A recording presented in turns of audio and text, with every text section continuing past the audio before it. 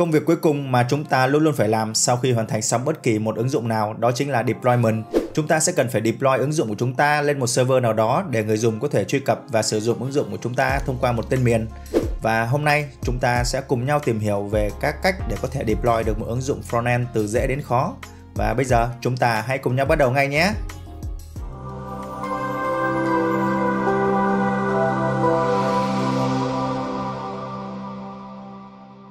Chào mừng các bạn đã quay trở lại với Howtech, mình là Tùng. Đối với những bạn lần đầu xem video thì mình làm các video tutorial về lập trình, mục đích để chia sẻ với các bạn các kiến thức về lập trình hữu ích bằng ngôn ngữ tiếng Việt. Và nếu như các bạn thấy các video của mình hay và hữu ích thì hãy để lại cho mình một đăng ký kênh ở phía bên dưới nhé. Cách đầu tiên để có thể deploy được một ứng dụng frontend lên trên server đó chính là sử dụng Netlify. Đây là một server hoàn toàn miễn phí và để có thể bắt đầu chúng ta sẽ cần phải đăng ký một tài khoản ở trên Netlify. Ở đây mình đã đăng ký sẵn rồi nên sẽ chỉ cần phải đăng nhập thôi. Và tại đây thì các bạn có thể lựa chọn là có thể đăng nhập bằng GitHub, GitLab hay là Bitbucket hoặc là một email của riêng bạn. Ở đây thì mình sẽ chọn là đăng nhập bằng GitHub. Và việc đăng nhập bằng GitHub sẽ giúp cho các bạn sau này deploy rất thuận tiện. Ví dụ như các bạn có một repo mới thì ngay lập tức ở trong Netlify nó sẽ tự động phát hiện được là chúng ta có một project mới và có thể deploy ứng dụng đó bằng một vài click chuột. Và sau khi đăng nhập xong, các bạn sẽ thấy một giao diện như này và để có thể tạo một website mới thì các bạn sẽ cần chọn ở đây là new site from Git và tại đây thì các bạn có thể lựa chọn được là ví dụ như source code của các bạn lưu trữ ở trên GitHub hay là GitLab thì các bạn sẽ chọn tương ứng. Ở đây mình lưu trữ code của mình ở trên GitHub nên mình sẽ chọn là GitHub đó, sẽ có một bước nữa là bước xác thực. Và sau khi xác thực xong thì các bạn sẽ thấy là nó sẽ liệt kê toàn bộ ở đây cho chúng ta những cái repo mà đang có ở trong GitHub của các bạn. Nếu như chúng ta muốn deploy repo nào thì các bạn sẽ chỉ cần chọn repo tương ứng. Ở đây thì mình muốn deploy một ứng dụng, đó chính là COVID-19 đây là ứng dụng mình đã hướng dẫn cho các bạn ở video trước. Ở đây ví dụ mình chọn COVID-19 tracking.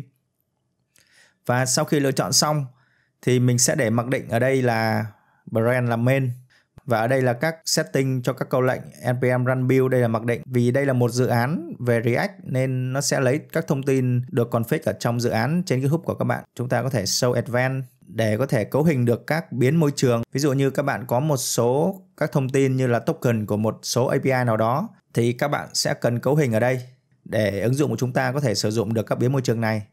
Ở đây thì mình sẽ để mặc định hết và chúng ta nhấn deploy site.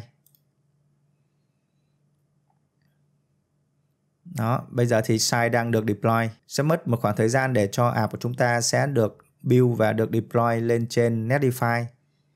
Và nếu như các bạn chưa biết gì về Git thì các bạn có thể theo dõi video giới thiệu về Git của mình.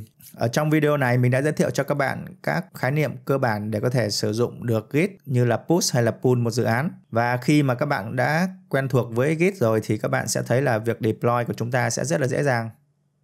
Rồi, vậy là app của chúng ta đã được deploy thành công. Các bạn có thể thấy là chúng ta đã có một tên miền được tạo tự động bởi Netlify cho app này của chúng ta. Đây là một tên miền hoàn toàn miễn phí.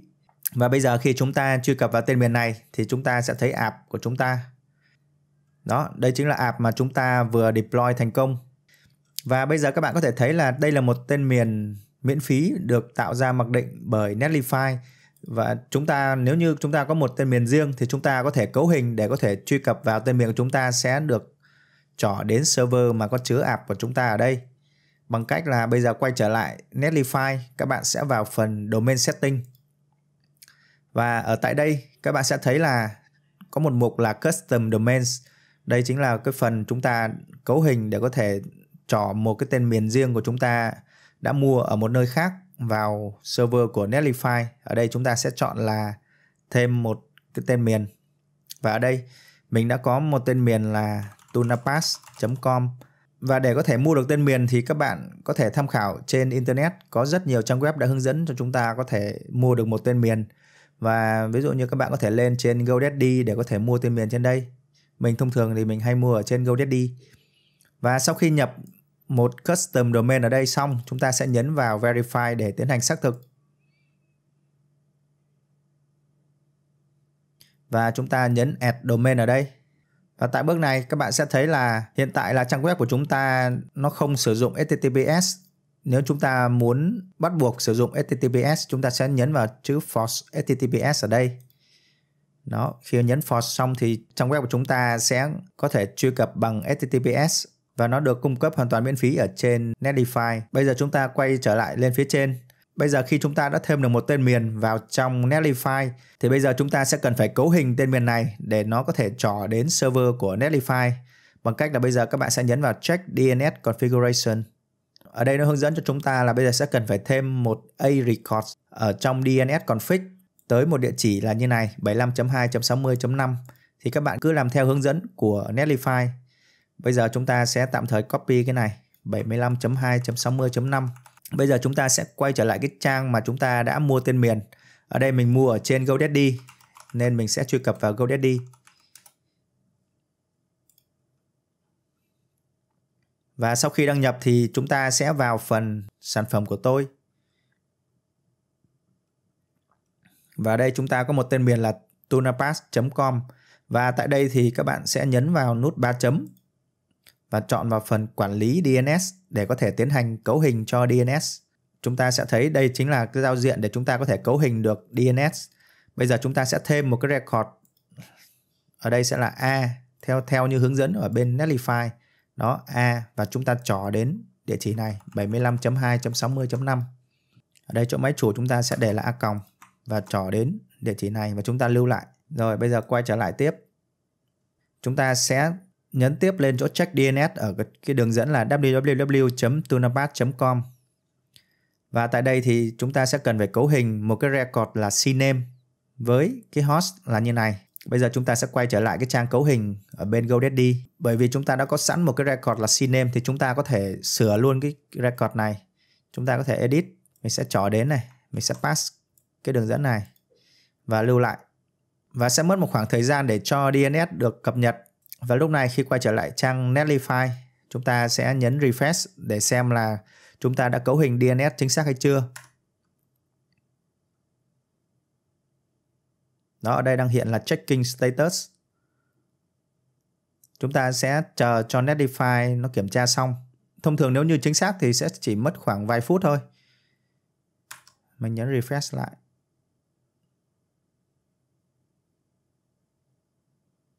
Rồi, vậy là Netlify đã kiểm tra xong và chúng ta đã cấu hình được thành công. Và bây giờ thì mình sẽ thử vào đường dẫn là tunapass.com để xem là cái app mà chúng ta vừa deploy này nó có hiện được hiển thị lên hay không. Thì lúc này, ứng dụng của chúng ta sẽ được load lên. Đó, các bạn thấy là chúng ta đã thêm được một domain riêng của chúng ta và nó đã được trỏ tới Netlify thành công. App của chúng ta đã được load lên thành công ở đây. Và các bạn cần lưu ý là đối với gói free thì các bạn sẽ có một số giới hạn như sau. Đây, ví dụ như gói free thì các bạn chỉ có băng thông là tối đa là 100 GB mỗi tháng. Và chúng ta có thể theo dõi được số lượng băng thông mà app của chúng ta đã sử dụng bằng cách là vào Netify Dashboard. Và tại đây thì các bạn sẽ thấy là ở đây chúng ta mới chỉ sử dụng 78 MB trên 100 GB. Đó, và nếu như các bạn thấy là băng thông vượt quá cái con số 100 GB mỗi tháng này thì chúng ta sẽ cần phải nâng cấp lên các gói cao cấp hơn. Tiếp theo mình sẽ giới thiệu cho các bạn cách thứ hai để có thể deploy được một ứng dụng frontend đó chính là sử dụng Firebase. Chúng ta sẽ vào firebase.com và tại đây thì các bạn cũng cần phải đăng ký một tài khoản ở trên Firebase và sau khi đã đăng ký và đăng nhập thành công các bạn sẽ vào phần console, go to console ở đây Và tại đây thì các bạn sẽ cần tạo một Firebase project mới cho dự án mới của chúng ta. Chúng ta sẽ ấn vào dấu cộng, add project và chúng ta sẽ nhập tên project mà chúng ta mong muốn. Như mình ở đây, mình đang muốn deploy một ứng dụng là COVID thì mình đặt tên là COVID 19 app và nhấn continue. Và mặc định thì nó đang enable cái tính năng của Google Analytics và đây là nó khuyến nghị là chúng ta để mặc định như này, thì chúng ta giữ nguyên và chúng ta nhấn continue. Rồi tại đây thì các bạn sẽ lựa chọn một tài khoản Google Analytics. Đó, mình sẽ chọn là default. Khi mà tạo tài khoản Firebase thành công thì chúng ta sẽ có một cái tài khoản Analytics mặc định. Thì chúng ta sẽ chọn ở đây. Hoặc nếu như các bạn muốn tạo một cái tài khoản khác thì các bạn có thể chọn create a new account ở đây. Ở đây mình sẽ chọn là default và nhấn Create Project và đợi một lúc để cho dự án Firebase của chúng ta được tạo thành công.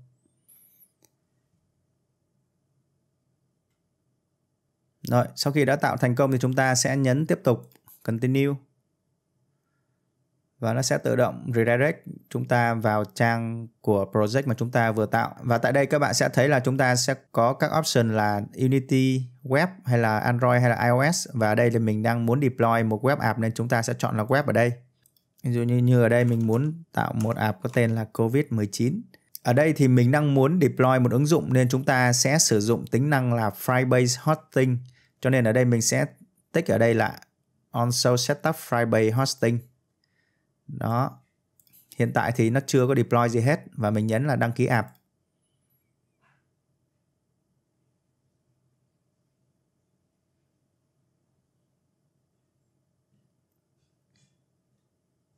Và đầu tiên thì các bạn sẽ cần cài đặt Firebase thông qua câu lệnh là npm install Firebase.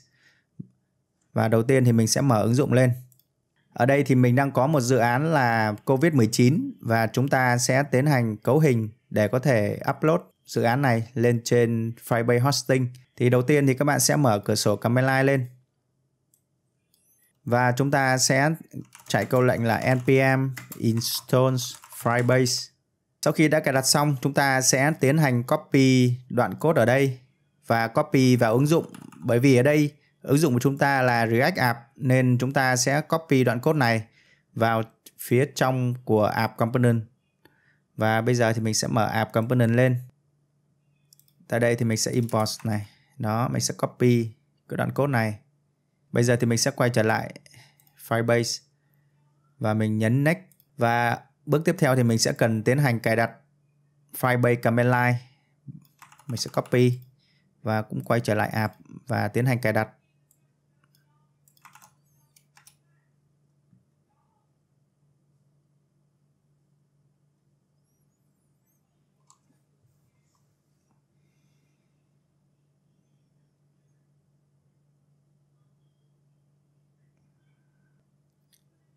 Sau khi cài đặt xong thì chúng ta sẽ làm bước tiếp theo. Chúng ta sẽ quay trở lại trang Firebase và nhấn Next.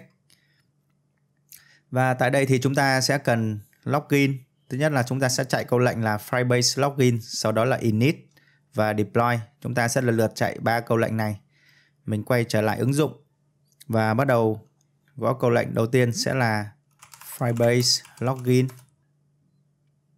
và ở đây đã hiện ra là chúng ta đã đăng nhập thành công với email này. Và tiếp theo thì mình sẽ gọi tiếp câu lệnh là Firebase init để khởi tạo một project Firebase. Và ở đây Firebase hỏi chúng ta là có muốn khởi tạo Firebase project ở trong cái thư mục này không? Cái thư mục chúng ta đang chứa code ở đây đang là thư mục COVID-19 tracking. Chính là cái thư mục gốc của chúng ta ở đây. Thì chúng ta chọn yes và ở đây chúng ta sẽ có nhiều tính năng của Firebase, nhưng ở đây chúng ta chỉ quan tâm đến tính năng đó chính là hosting. Và chúng ta sẽ lựa chọn bằng cách là nhấn phím dấu cách, rồi sau đó nhấn enter. Và ở đây thì chúng ta sẽ có lựa chọn là, chúng ta sẽ lựa chọn một cái Firebase project có sẵn hay là tạo mới. Tại vì mình đã tạo một cái project Firebase có sẵn lúc nãy rồi, nên chúng ta sẽ lựa chọn cái option là use an existing project và đây thì nó sẽ hiển thị cho chúng ta tất cả các cái Firebase project mà có liên kết với account mà chúng ta đang đăng nhập. Ở đây mình chọn cái project có tên là COVID-19 app. Đây là chính là cái app mà chúng ta vừa tạo ở bước trước đó. Chúng ta sẽ lựa chọn Enter.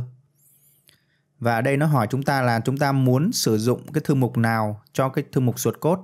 Mặc định nó sẽ để là public.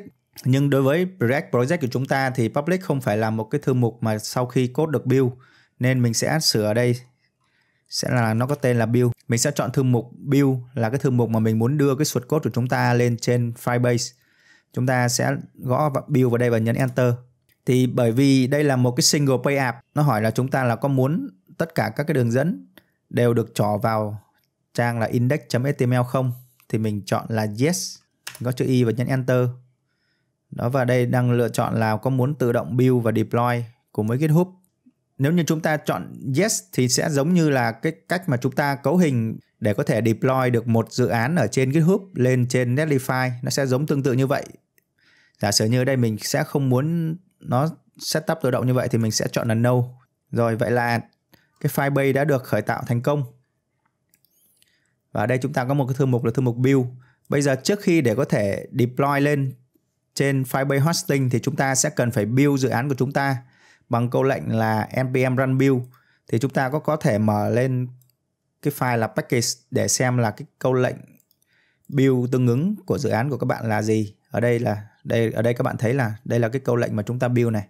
Thì bây giờ chúng ta sẽ chỉ cần gọi là npm run build để nó tạo ra cho chúng ta một cái source code mà sau khi đã được build ở đây chúng ta sẽ gọi là npm run build và chúng ta sẽ đợi một lúc để cho dự án của chúng ta build xong source code. Và ứng dụng của chúng ta đã build thành công. Và các bạn có thể kiểm tra lại cái thư mục build này. Đó, các bạn thấy là chúng ta đã có được code sau khi đã build ở trong cái thư mục build này.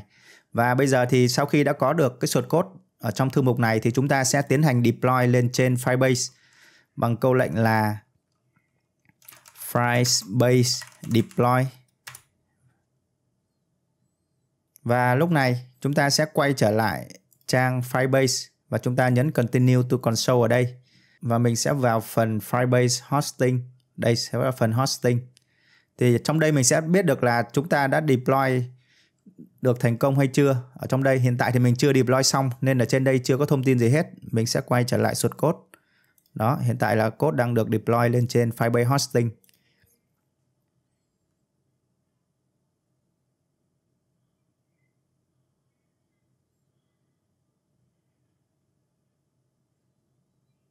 Rồi, ở đây đã thông báo cho chúng ta là đã deploy thành công. Bây giờ thì mình sẽ quay trở lại trang Firebase và mình nhấn refresh.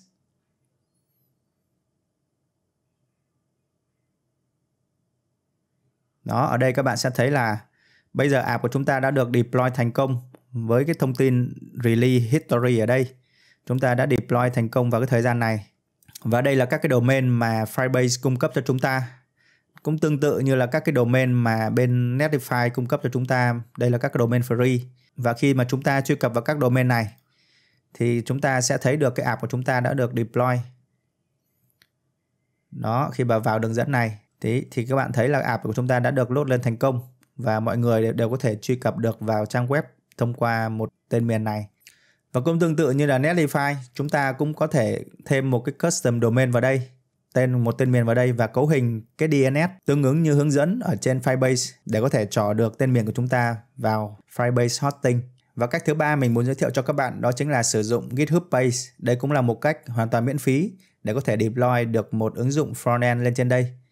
Và để có thể bắt đầu thì các bạn sẽ cần tạo ra một project ở trên GitHub và đẩy source code của các bạn lên trên đây. Và bởi vì mình đã có source code đẩy lên trên đây trước nên ở đây đây chính là cái source code của cái app COVID-19 mà mình đã đẩy lên trước đó. Và các bạn cũng cần phải làm tương tự cho ứng dụng của các bạn. Và để có thể tìm hiểu kỹ hơn về cách có thể pull, push hay là commit code thì mình đã chia sẻ trong một video về Git và mình sẽ để link ở trong phần mô tả các bạn có thể theo dõi. Và sau khi các bạn đã push code được lên trên GitHub thì chúng ta sẽ làm bước tiếp theo. Chúng ta sẽ mở cái ứng dụng của chúng ta lên và ở đây thì mình đang mở ứng dụng là COVID-19 và để có thể deploy được lên trên GitHub Pay các bạn sẽ cần cài đặt thêm một library có tên là GitHub trừ Base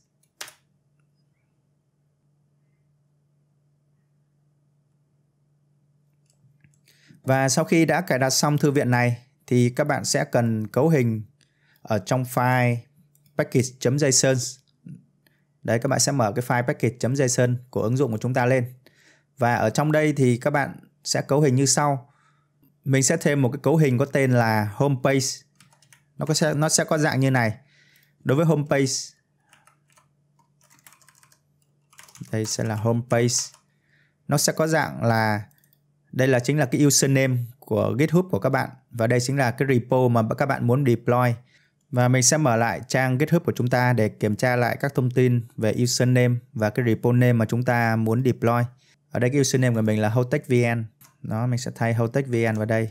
Còn cái repo name, cái repo name ở đây chính là cái COVID-19 tracking ở đây. Đó, các bạn sẽ lấy cái tên tương ứng đối với ứng dụng của các bạn.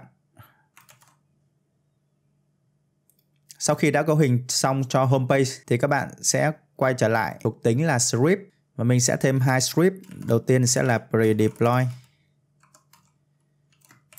Sẽ là npm run build. Và cái thứ hai chính là deploy. Ở đây sẽ là ghspace trừ d build. Đây chính là cái library mà chúng ta đã cài đặt ở bước trước và chúng ta lưu lại. Và lúc này thì chúng ta sẽ gọi câu lệnh là npm run, deploy. Khi chúng ta gọi câu lệnh này thì trước tiên cái câu lệnh pre-deploy này sẽ được chạy trước. Nó sẽ chạy câu lệnh là npm run build trước để tạo ra một source code sau khi đã build. Sau đó thì sẽ gọi câu lệnh là gh space và build. Đó, và ở đây đã hiện cho chúng ta là đã publish. Và bây giờ thì chúng ta sẽ copy lại homepage này và chúng ta sẽ mở trên trình duyệt. Chúng ta sẽ pass vô đây.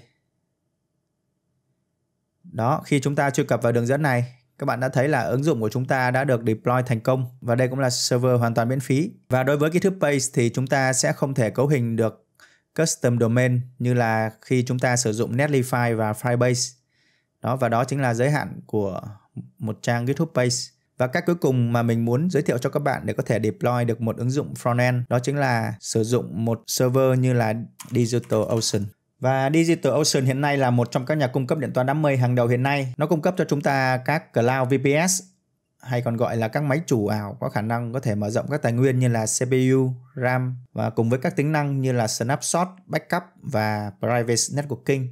Và nếu như các bạn đăng ký thông qua link của mình để dưới phần mô tả thì các bạn sẽ nhận được 100 đô trong tài khoản và khi đăng ký thì có nhược điểm là chúng ta sẽ cần phải có tài khoản là PayPal hoặc là thẻ credit. Và các bạn lưu ý là đối với 100 đô này thì chúng ta có thể sử dụng để mua các cái dịch vụ ở trên Digital Ocean và nó cũng sẽ giới hạn cho chúng ta là thời gian để chúng ta phải sử dụng hết 100 đô đó. Và bây giờ thì mình sẽ tiến hành giới thiệu cho các bạn.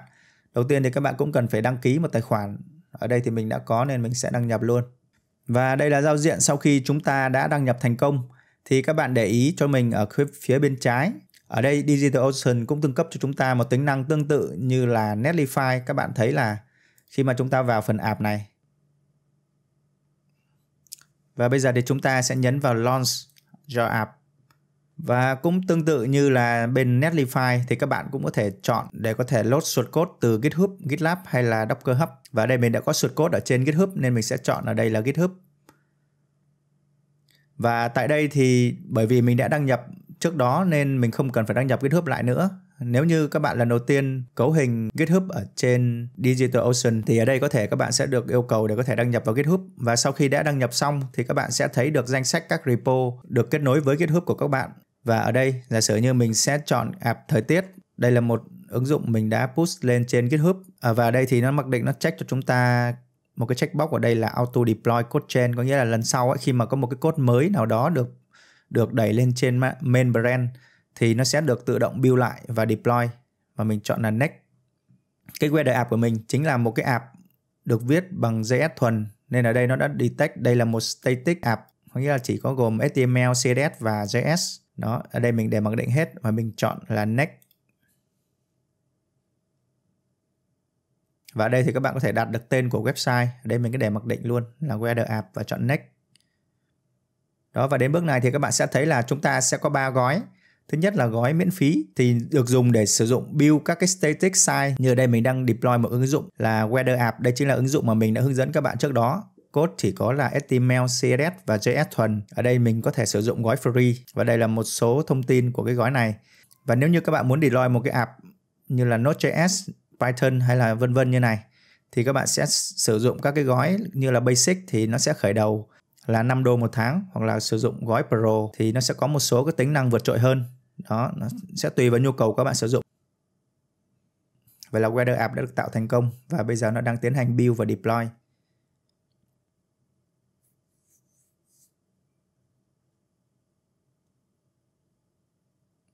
Rồi vậy là app của chúng ta đã được deploy thành công và các bạn thấy là cũng tương tự như Netlify hay là Firebase thì bên Digital Ocean App nó cũng tạo cho chúng ta một tên miền miễn phí và khi truy cập vào tên miền này thì chúng ta có thể thấy được app của chúng ta vừa được deploy.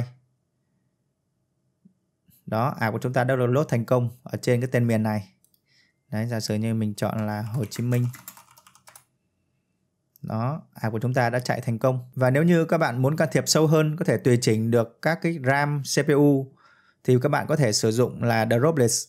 Đây các bạn sẽ vào Droplets, nó sẽ giống như là các máy ảo chúng ta có thể tùy chọn được là CPU tốc độ bao nhiêu, RAM hay là ổ cứng. Đó và trong đây thì đó chúng ta có thể chọn hệ điều hành. Giả sử như ở đây mình chọn là Ubuntu và mình chọn cái gói là chia sẻ cái CPU thì nó sẽ rẻ hơn. Ở đây sẽ là nếu như mà mình chọn cái regular Intel mà không phải là cái NVMe SSD thì nó sẽ có giá là khoảng 5 đô một tháng. Đó, thì mình chọn cái gói 5 đô. Thì tùy các cái gói khác nhau nó sẽ có cái cấu hình của cái máy của các bạn khác nhau. Đó, ví dụ như 5 đô thì chỉ có 1 GB RAM và một CPU và 25 GB SSD và băng thông là 1000 GB cho một tháng. Đó, tương tự tùy vào cái nhu cầu của các bạn thì các bạn sẽ chọn các gói tương ứng. Và đây thì các bạn sẽ chọn một cái data center, một cái trung tâm dữ liệu. Nếu như khách hàng của các bạn chủ yếu là ở Việt Nam chẳng hạn thì các bạn sẽ chọn giữa các giữa các cái data center này thì chúng ta sẽ nên chọn là Singapore vì nó ở gần Việt Nam thì cái tốc độ truy cập nó sẽ nhanh hơn là so với các server khác. Ví dụ như mình chọn là Singapore. Đây là xác thực để cho cập vào một cái máy ảo này. Đó, thì các bạn sẽ chọn đây là, có thể dùng ở đây là SSH key hoặc là password. đây, mình sẽ chọn là password đây.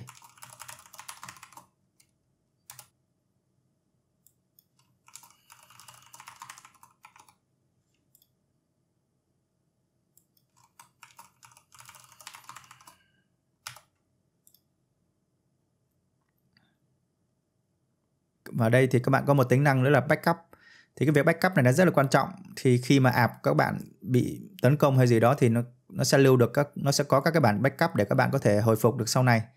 Thì đấy, thì cái giá của nó là một đô trên một tháng đối với mỗi một cái máy ảo. Và các bạn chọn create droplet để tạo một cái máy ảo.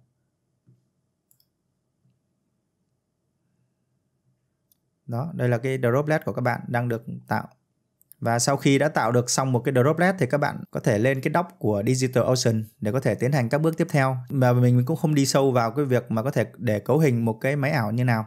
Thì các bạn có thể tìm hiểu trên dock của Digital Ocean. Trên này thì Digital Ocean nó cung cấp rất nhiều các cái dock rất là chi tiết và các bạn có thể làm theo để có thể deploy được một cái app, bất kỳ app nào đó lên trên Digital Ocean. Vậy là chúng ta đã cùng nhau lần lượt tìm hiểu về các cách để có thể deploy được một ứng dụng frontend lên trên server và hy vọng video này đã mang đến cho các bạn nhiều thông tin hữu ích và nếu như các bạn thấy các video của mình hay và hữu ích thì hãy lại cho mình một like và đừng quên hãy nhấn nút đăng ký kênh ở phía bên dưới để ủng hộ mình nhé. Cảm ơn và xin chào các bạn.